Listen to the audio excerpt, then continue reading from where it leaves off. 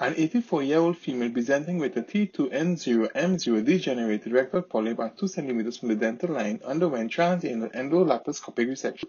The reusable transanal depot is inserted into the anus and the obturator is removed. The reusable silicone cap is applied and a regular 30 degree 10 mm scope is introduced.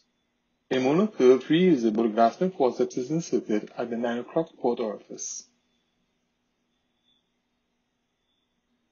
A graduated straight grasping forceps is inserted at the 3 o'clock port orifice. The degenerated polyp is observed at less than 2 cm from the dentate line. A monocurved reusable coagulating hook is inserted at the 3 o'clock port orifice.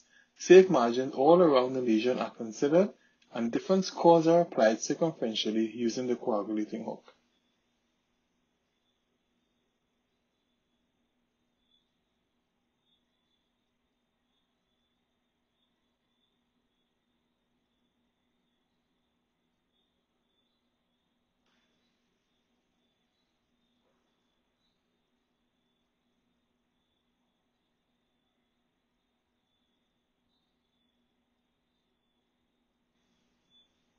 Resection is started at the 6 o'clock position using the monocurved grasping forceps and the monocurved coagulating hook.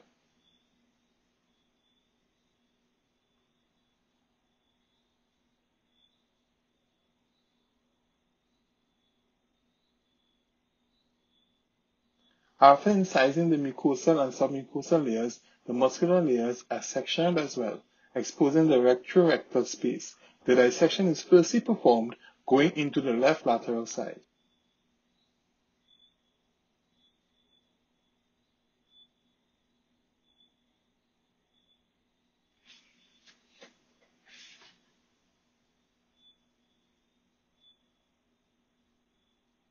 The correct plane of dissection can be visualized here. The dissection continues on the left lateral side, incising the remnant rectal wall.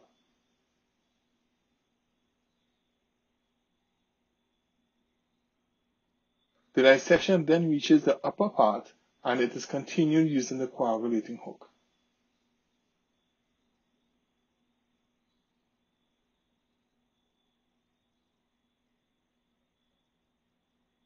The surgeon worked under satisfactory ergonomics during the entire procedure, without conflict between his hands nor the camera assistant's hand. The dissection is then started on the right lateral side with the full thickness method.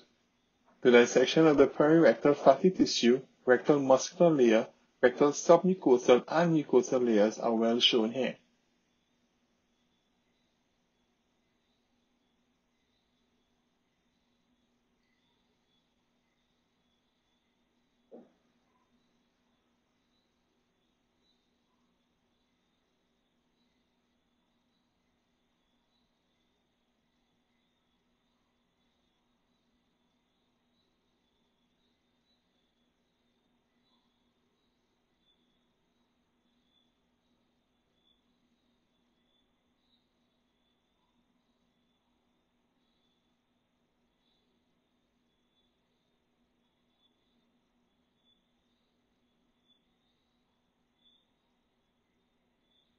Finally, the specimen is completely freed and it is removed through the depot and sent for the pathologic evaluation.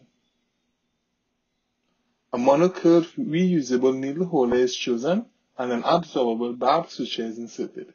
The needle holder is inserted at the 3 o'clock port orifice. The rectal wall is closed starting at the central point and going firstly on the left lateral side. Since the section sectioned tissue always retracts, the first bites are placed on the dentate line. Full thickness bites are placed, and the suture is kept well under tension.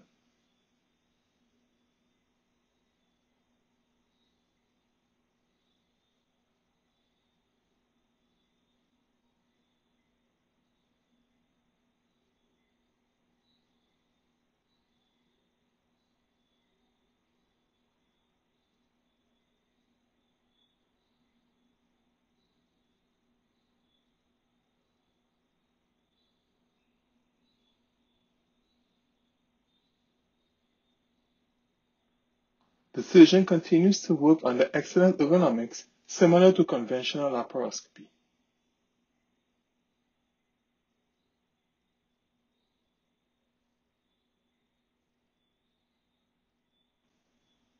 The suture reaches the middle segment of the left lateral side and subsequent full thickness bites are taken.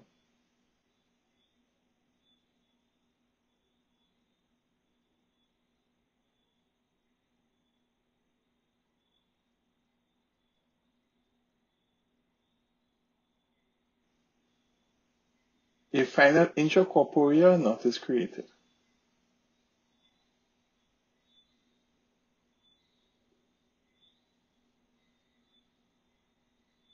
Monocurve reusable scissors are inserted at the 3 o'clock port orifice and the first suture is cut. A new reabsorbable barbed suture is started at the apex of the right lateral dissection and the rectal wall closure is again started in full thickness method.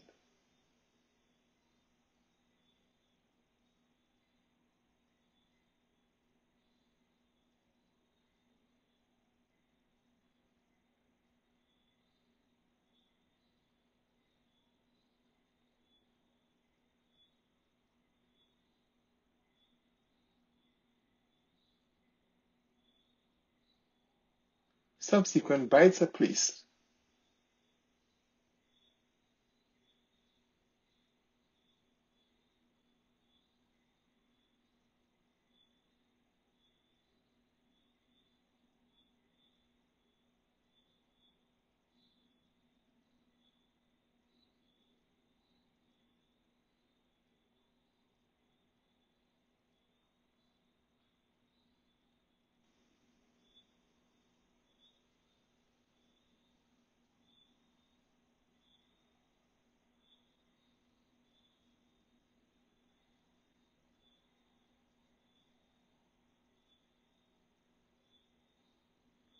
The suture reaches the central point where the previous suture was started.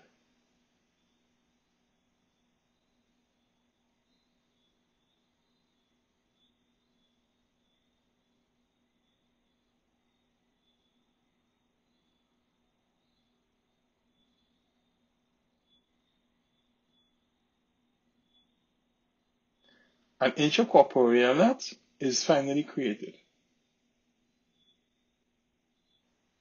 The final view of the cavity shows the entire suture line with the absence of the flaps opening.